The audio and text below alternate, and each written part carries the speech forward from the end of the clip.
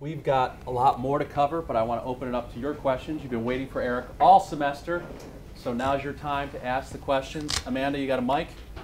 Raise your hand, say your name. We may not be able to get to all of them, Okay. but you'll get to meet Eric at the end. All right. Uh, my name is Ken Lazani, a business major. Um, going back to the idea of opposing views, what's been the most memorable changes you've made, done to Activision due to opposing views, especially as the company gotten bigger and bigger? It's, Well, the company's pretty big when I got there, to be to be fair. Um, so uh, it's not about it getting bigger and bigger, but it's it's it's really about um, inviting debate. Probably the best example I had was we had a leak uh, of Modern Warfare 3 last March, and it was sizable. You know, there was a lot of stuff that someone got a hold of somehow, and we didn't know how it happened. And this is serious stuff. You know, it's like they're giving away levels and they're giving away plot lines and they're giving away things that weren't set to be revealed for quite some time. And as you would expect, you know, uh, the the company kind of you know went into triage mode, and, and everyone got in room, and and this was a kind of heavy moment. It was one of those moments I described before, where it's like, now which day of art school did I sleep through that would have prepared me for this? Um, but you know, there's literally like you know, there's guys who who are security guys, and, and, and they're trying to figure out where the leak came from, and and uh, and everyone who works on the business is sitting around the table, and um, what I I had this moment of clarity where I realized all of our focus was backwards. All of our focus was how'd that leak happen, and it was all trying to figure out what that was. And so what I did was I kind of split it into two meetings. I said, okay, the guys who are responsible for figuring out where the leak came from, you know what you're doing. Go do your work. Update us, you know, when you find something out. The rest of us, we're not going to talk about that because our launch just started. Whether we like it or not, our game just launched. And it wasn't on our schedule, and we didn't start this, but here's our job today. Our job today is to finish this sentence. If this leak had never happened, we would never have been able to do blank. And the several hours that ensued was every opposing viewpoint you could imagine. Do nothing, stay the course. This is a tiny vocal minority of the population who's even aware of this leak. You know, we should, we should do our own leaks. We should do this. We should, you know, it, we tried on every different angle. And where we ended up was simply acknowledging that we live in a digital connected world. And that in that digital connected world, the, the most valued value is transparency. So we just went. uh, We're lucky with you know Activision. We have a huge social media you know network. We can talk directly to fans. We have 10 million fans on Facebook. We have you know uh, a huge amount of Twitter followers off various accounts and 2 million YouTube channel subscribers. So we just went directly to our fans and released a statement that said, as you might have noticed, this leak happened. We didn't. It you know didn't come from us. It's not intentional. But because this seems to have stirred up some interest, we're going to lean into it. And so we, we were lucky with the timing because we had four teaser commercials that were scheduled to launch about four weeks or three weeks later that were done. And so we said, so here it is, you know, the official uh, teaser campaign for Call of Duty Modern Warfare 3. We released those, and there was an analogous set of videos that were released a year earlier for Black Ops. And if, you, if I had the chart here, it'd be very uh, demonstrable. But, you know, the YouTube views were here for Black Ops, and they were like here for the Modern Warfare 3 videos. So by leaning into it and by sort of pouring gasoline on the little fire of interest that got stirred up by the leak, we were able to 10x, literally, uh, multiply our engagement with our teaser materials. So I think that was a good example of sort of inviting a debate, inviting opposing points of view, and, and collectively coming to the right place. Hi.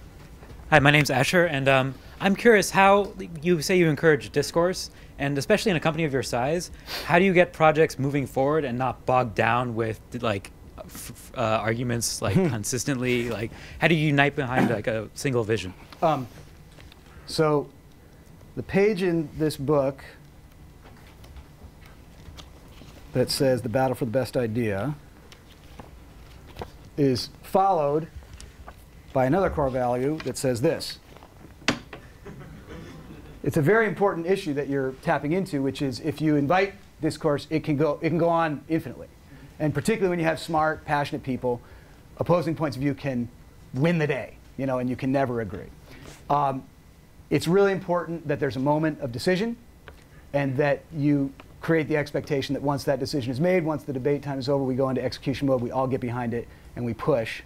And you push in, if the idea is yours, give it away to everybody else. If the idea isn't yours, get behind it like it is. And that's how, you know, that's how success happens. And well, that doesn't guarantee success, but the absence of that does guarantee failure, in my opinion. Hi, how's it going? Uh, you touched on branding a little bit earlier today, but that's a very important topic, especially in the future, I think. But uh, you know, I get that branding requires you know understanding your company's core values and stuff like that. But a lot of us are trying to start like a new product or service. What particularly would you do to try and like create the next Activision or Apple or something like that? I know it's a huge question, but If figured I I'd knew get my time. um, particularly with a new product. I think the answer is really the same.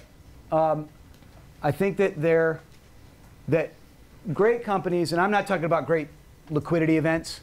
I'm not just talking about building something to sell it and then, you know, how many of those how many of those startups are really built to last? So building something great that's lasting and meaningful, I think will always be built on on a set of core values. Not just in your corporate culture, but in your product. Like what what thing are you bringing to the table that's new and differentiating. And I think you got to be really hard on yourselves to answer that question before entering into an entrepreneurial venture. Because I think the entrepreneurial spirit, particularly in this country, is so strong that the idea of starting and owning is almost taken over from creating something meaningful. And the entrepreneurial idea, the entrepreneurial ideas that, that work are the ones where something created something meaningful that solves a problem that people have, that brings a new flavor or a new point of view uh, or a unique contribution to the marketplace. And if you have that, then articulate it, build your company's values around that, and you'll be successful. But I think the, the, the hard part is having that. If you have that, the rest will fall into place. Hi there, my name is Ben Profit. I'm a filmmaker. Um, yeah, first I want to acknowledge like uh, how how much I admire your creative and technological achievements and what you do, um, but also in, in inviting opposing viewpoints. Uh, this is something I worry about as a filmmaker, uh, especially with how engaged people are with your products. You know, saying it's some people's full time or part time jobs. Do you ever worry about what you do is a distraction? Is uh, you know people are wasting their time you know to the point of to the point of not doing something productive i think you know obviously video games are something hugely valuable and fun and uh, you know stimulating uh, but do you ever worry about that you're actually too effective and how how how engaging your games are It's a great question. First of all, you don't have to worry about uh, being a filmmaker because your name is Ben Profit. So- Proudfoot. Proudfoot, even better. Either way, you're going to be successful. The world needs a director named Ben Proudfoot. Um, I, uh, I don't worry about that um, because, uh, first of all, I think that games, uh, this is a several pronged answer. Games are a young industry. If we were the movie business, we wouldn't, the movies wouldn't be talking yet. That's where we are in the arc. So, because of that, it's still viewed with a lens of exoticism by a lot of people and held to a standard that like movies aren't or mu- popular music isn't anymore. But those things were seen as dangerous when they started. Movies were seen as dangerous. Rock music was seen as dangerous. Rap music was seen as dangerous. Books were seen as, as dangerous when they were new. And um, change is hard, and people have a hard time assimilating it. So people who didn't, generations who didn't grow up playing games, often look with a skeptical eye at games. The data is overwhelming that games not only don't have a negative effect. You should watch a, a TED talk, you know, uh, TED.com. A woman named Jane McGonigal, a PhD, who studied games and their effect on people, and, and realized that gamers are some of the most engaged, focused, uh, empowered people uh, of any type of entertainment that you can consume. And that's because I think games are the only form of entertainment where you fail about 80% of the time and have to, it's the only form of entertainment sort of arrogant enough to say, you might not get to finish this. we don't know if you're good enough. We know you bought it, but you got to put in a little more time before you get to see how it ends. You know, so like people who play games are one of the few things kids do where they single task. One of the few things they don't single task when they're watch, watch- watching movies or television anymore. They're on, you know, their their iPads or smartphones, tweeting and, and texting. Uh, so I think games are a really uh, great art form and a great uh, form of entertainment. And, um, and I think that, like anything, of course, there are cases where you can take a good thing too far, and that undoubtedly happens with games. But I think the vast majority of, of, um, of gamers, you know, uh, are doing it the right way. And if, it's, if they're wasting time, I think it's time well wasted. Hi, my name is Carly. Um, so I know that Activision Blizzard is owned by Vivendi, which I only know because I was an intern there this summer. But I was wondering if you could talk more about that relationship and like how it affects uh, the Activision. So um, Activision Blizzard essentially merged um, a couple years before I got there, and um, with that merger came a uh, significant investor in Vivendi, and um, I've been through a very similar equation when Deutsch sold to a company called Interpublic, Interpublic Group of Companies, which sounds like a Simpsons company to me. Um, but IPG, they're a big holding company that owns hundreds of ad agencies, and Deutsch sold to them. And when you get uh, into that kind of relationship, it just adds another layer of rigor and another layer of scrutiny and another layer of um, input into the process. And I think that can be very healthy. I think that um, uh, knowing that you have board meetings coming up, knowing that you have earnings calls coming up, like I said about writing the values book, it sort of makes you stop, figure out how you're going to present what's going on, you know, figure out what your case for you know growth is and, and building the company the right way is, and and there's a you know an audience that's engaged and and smart that's going to scrutinize it, and I think that we should all invite that. Hi, my name's Kishan. Um, recently in the media, a uh, executive from a little-known company named EA um, said they wanted to see the Call of Duty franchise rot to the core. From Um, the core, I think you said. From the core. from the core out. Um, Yeah. What would you say to the competitive landscape and how do you see it? Uh, if you know that quote, you probably know that my response to that was to not respond. Um, uh, I'll just say this. Uh, it's a challenger brand's job to get people to think of them in the same way that they think about the leader brand. And that's what that strategy was. Uh, pick a fight, you know, uh, you guys are all too young to remember the Pepsi Challenge, but there was a famous ad campaign called the Pepsi Challenge where Pepsi challenged Coke to a taste test. Well, Coke doesn't need the Pepsi Challenge. They're number one. They never mentioned Pepsi. Okay, so um, our competition is ourself. And when your last year's you know game was the biggest entertainment launch of all time, that's what I'm worried about topping. Um, and that's tough enough. So I, I really, I've said this a million times, and I really, but I really mean it. And people think it's like a, a shtick or like a, like a public-facing um, answer, but I really think focusing, uh, the way you win races is by focusing on the, the, the finish line, not on the other runners. And you just got to do the best you can do and make something great and be hard on yourselves and be hard on each other and push and push and push until you think you have something great. And that you can't you any energy you waste talking about or thinking about what someone else might be doing, which you can't know anyway, is wasted energy. Um, as you said, the gaming industry is one of the fastest growing industries, um, I, and I completely agree. What would you say is one of the biggest voids of the modern gaming industry, and what is Activision doing um, that you can speak to to fill that void? Well, I obviously can't speak to any you know projects that haven't been announced yet, but um, uh, one of the things I think we're doing is trying to take our core, what we know how to do well, and using new technologies and new media to expand those universes. So, the Skylanders game I talked about for kids, there's an iOS app and an Android app that kids can play the game on their parents' smartphones and they can teleport the toys into the phone. There's a web world, you know, so it becomes a sort of like community. And we've done the same thing with Call of Duty Elite, you know, trying to create more of a, you know, the observation was this people are spending all these hours and all this time playing Call of Duty, and yet there's remarkably few ways to actually interact with each other.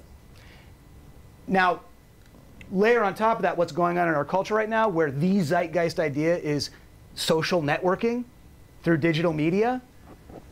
It seems like those two things should meet one another and shake hands. You know, here are all these people in a digital space, 20 million a month, playing a game that they all love, and there's no way to connect with each other. There's no way to control who you're going to play with next, or join a, a league, or join a competition. And we just wanted to kind of experiment with how far we could take people's willingness to connect in, in a new way with games. I, I think that games have a lot more in common in a weird way with sports than they do with movies. I think people always like to compare them to movies, but I think the, that, that games have in common that we spend a lot more time with them. There, there's a lot more engagement with them. You're trying to get better at something. So I think that if you think about the NFL, the NFL happens only on Sundays, but you can interact with it 24 7. You can play fantasy football. You can watch highlights shows. You can read blogs. You can read stats pages. You can, you know, obsess over it every day of the week. That's an ecosystem of content around one passion, which is football games. So we're sort of seeing if we can use all this explosion of new media and new technology to, to do that with the games that people love, because they really are universes that people inhabit. All right, two more questions, and don't diss my side over here. Well, that's going to be a problem. I have to do three more questions. Uh, hi, Eric. My name is Spencer Kolwick. Um, I, like many of the people in this room, are sort of children of the internet age, and competitive gaming and esports has sort of grown out of that, which your company is a, a big part of. Uh, I remember growing up and having a lot of my greatest accomplishments that I was most proud of uh, were sort of my parents couldn't connect with, and I couldn't connect with them. Uh, they were really proud if I won a tennis match or played a piece on piano, but the things that I was that. yeah, but the things that I were most proud of didn't really mean anything to them. So I was curious uh, how you thought the sort of aging of this this generation of gamers who are who are playing online games who, and who are able to see gaming as sort of a, a positive thing and a, and uh, in many ways much similar to sports. How you see that affecting your company? Um, well, I spoke a little bit before about the sort of cultural disconnect, generational disconnect that people have with games, and they still see them as this kind of you know subversive element in in um, in culture. And you know, I remember when we did that Black Ops ad. Um, I can't remember which commentator it was, but someone on ESPN kind of went off on Kobe and said, "What is he doing, holding a gun on television? And there's you know there's real wars going on in the world, and what was he thinking?" And I remember, you know, uh, I I actually think I said this in the press, but uh, I remember thinking to myself, well, would he be saying that if Kobe had a part in the next Bourne Identity movie? you know, there's just this kind of this is someone who didn't grow up playing games, and they see it as this, you know, exotic, you know, kind of thing. That won't happen. That's a, just a generational time continuum, and we're in the middle of it. And I think that one day we'll look back at the controversy of video games and, and find it quaint. I mean, you know, at the time, uh, there were people who blamed Charles Manson on the Beatles because they wrote the song Helter Skelter, which he referenced in his writing, Or comic books? or comic books. You know, so um, I think now we look back at that and we and we you know they're the Beatles, you know, um, and games will eventually you know occupy that kind of you know pillar seat at the pop cultural table, but they don't yet. Still young, still a young medium. All right, two more quick ones. We're going to go a little bit late because we got started late.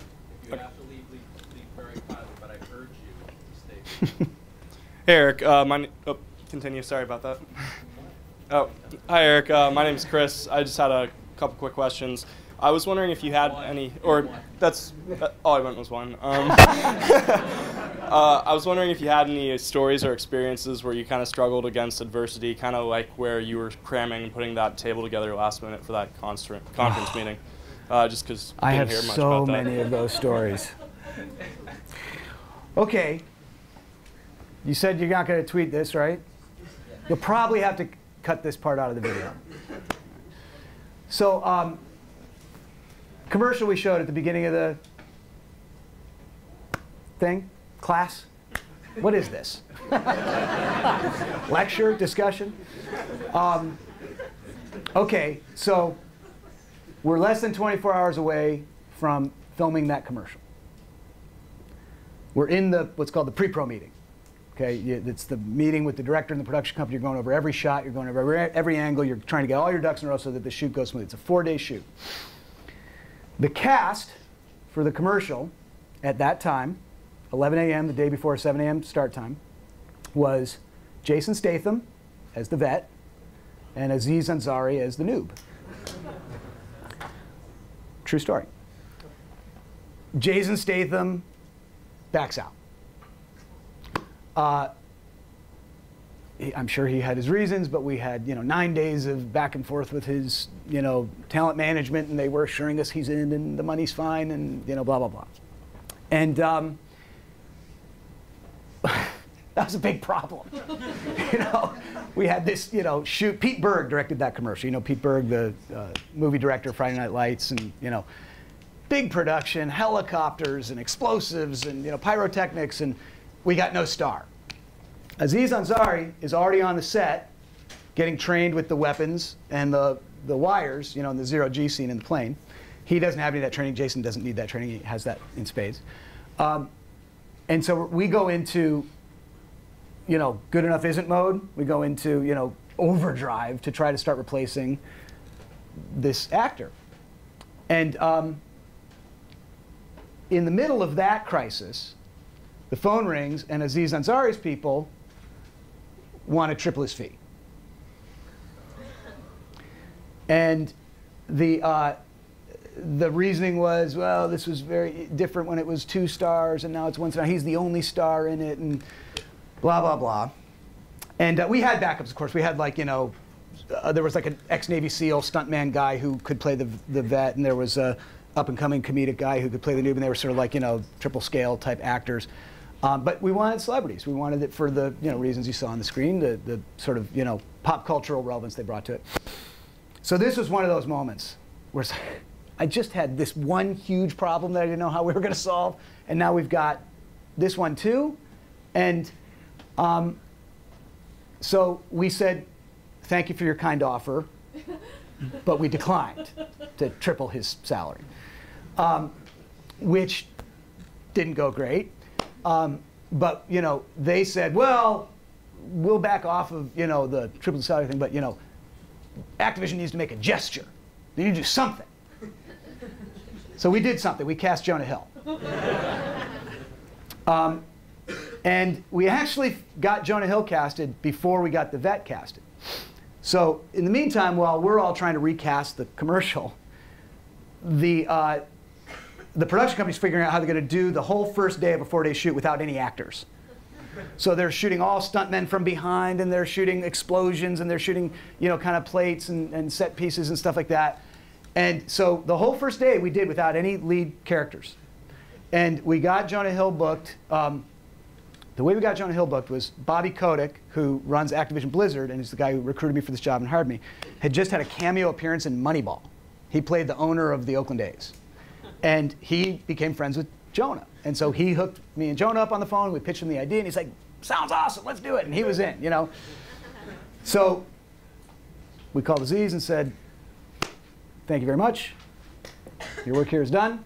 And then 7 a.m. the next morning, this was a big, you know, kind of good enough isn't moment. We sat down uh, and said, okay, who's going to play the vet? And within between 7 a.m. that day and 7 a.m. the following morning, we went through every possibility. You know, could Colin Farrell do it? Ah, I don't know. You know, uh, Josh Duhamel will do it. Mm, he's on General Hospital. I don't know. you know, uh, you really can't put this in the video. Um, I'm being really open now. Uh, and you know, finally, it was like Sam Worthington. Now, Sam Worthington was a voice in Black Ops, so he had a relationship with the, the company already, and he was totally into it. And we pitched it to him. And he had three days in LA between movies the three days that we needed, and you know the clouds sort of parted.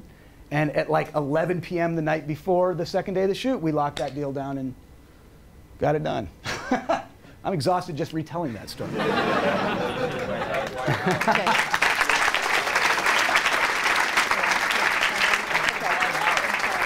All right, what, what? A, Dwight Howard was already in.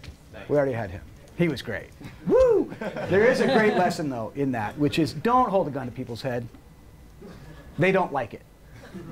And even when you think you have leverage, don't. Like, that doesn't mean you have to use it. And usually, when you do, people respond exactly the way we did. Which is, the, you don't want to be in that position. You don't want to be in a position where, where suddenly someone's taking advantage of a situation that there's no fault of your own, happened through you know, circumstances. That's not good business. And when you get in those moments, you think opportunistically, and it crosses everybody's mind. But that's a big mistake. Would have been good. Would, would that not have been good for Aziz Ansari's career? I think it would have been. Last question. I Okay. know we've got tons more. Sorry, Sorry. cut it off. Hi, my name is uh, Anthony Trenkin with the Marshall School of Business.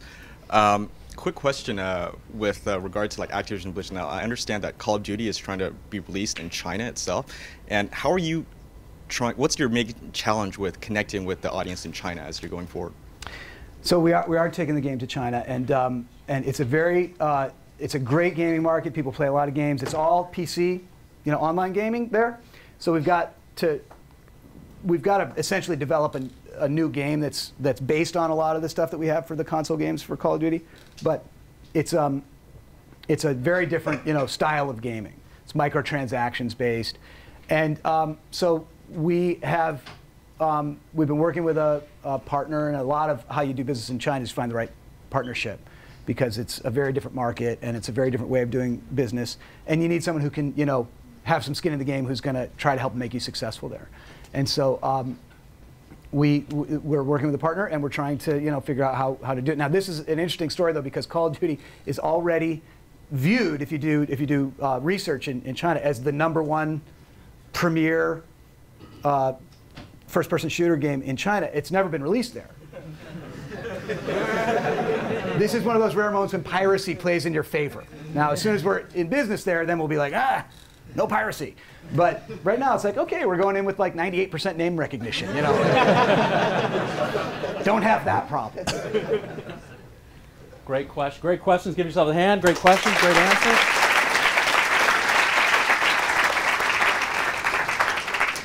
That is uh, that's a master's class on so many topics. I really we, we could go on for hours. Unfortunately, students have other classes, and you actually have to go home to your family at some point. Uh, so we won't keep you. But I want to finish with one question, and I want you to stick around if you can, uh, because this is an important one. Um, Amanda, you, you have that photograph ready to go, right? Um, so, no, this is a serious one. We, we've talked about values. We've talked about what's important. You've got, you know, 18 to 22 year olds in the audience thinking about what they want to do next and how they want to live their lives. And so we really like for you to focus on the important things. Um, Marie did send me this picture uh, of a piece of artwork behind your desk. And I want to show it to everybody, Amanda. And then I want you to explain what it means to you. So um, the story behind this piece of art is um, the day I left Deutsch. Uh, and you have to imagine this. I worked at Deutsch for 14 years. I started the agency with a partner. I, you know, it was my baby. I grew it from five people to, you know, 430. I think the day I left, and um, it was a lot to leave. You know, you don't usually people who build a company don't leave them. You know, um, and it was a very comfortable place for me to go to work every day, and I had a lot of great friendships there and a lot of pride. And Marie had told me that um, that they were preparing a bunch of gifts, some of them funny, you know, gag gifts, and some of them, you know, heartfelt. And there was going to be a roast toast kind of thing uh, to send me off because I wasn't going to competitive agency. It wasn't the kind of thing where I was leaving on bad terms. It was very, it was a very surreal experience. It was like kind of being at your own funeral. Like you hear all the toasts and hear all the things that people say about you, but I'm like, but I'm here still, you know, like. Um, but I decided that I didn't want them to just give me gifts that didn't feel right because they Deutsch had given me so much too and, and had been such a great you know growth opportunity for me and, and such a home for me. So I gave myself the assignment of trying. I wanted to come up with something. The the sort of brief I gave myself was if I could have one wish for the thing that would have to continue after I left that I think we got right when I was there. That would ensure future success. What would it be? And I wrote these three words care the most. And then I created this silk screen. I actually found uh, the guy who helps Shepard Fairey with all, he's like his studio assistant, and he, he's the only guy in LA that does these giant silk screens, and that's a huge silkscreen. And I created two, one of which hangs in Deutsch, and one of which hangs behind my desk. And then I destroyed the screen. And um, the idea is really simple. Um, the people who I know in the world who are the most accomplished and who have the, the careers and accomplishments that I admire the most don't all have you know the, the biggest set of, of, of God-given tools always. I, not to minimize the importance of talent and intelligence, those things are important, but I think they're the cost of entry. Talent alone is not enough because everyone you're competing with in business there will be lots of other talented people. And the X factor to me is caring the most, sweating every detail, never being satisfied, pushing beyond what you thought you could do and what your team thought they could do. And it also means caring for each other, caring for the work product, caring for the culture the most. In my experience, the ones who care the most win. And I don't care whether that's a professional athlete, or whether that's a business person, or whether that's a creative person. I think that's the X factor, and that's the secret ingredient. And it's certainly how uh, I've accomplished whatever I've accomplished in